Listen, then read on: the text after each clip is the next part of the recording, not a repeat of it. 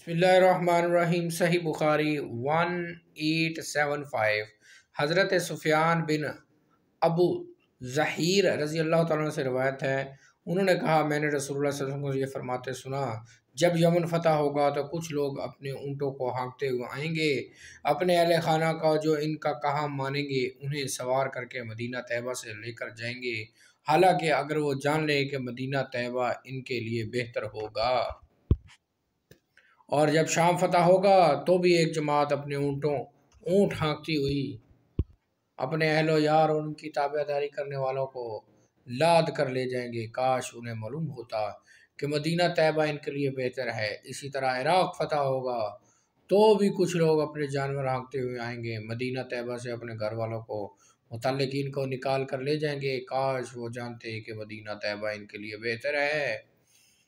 ईमान Medina तैबा की तरफ़ सिमट आएगा। Sahih Bukhari one eight seven five.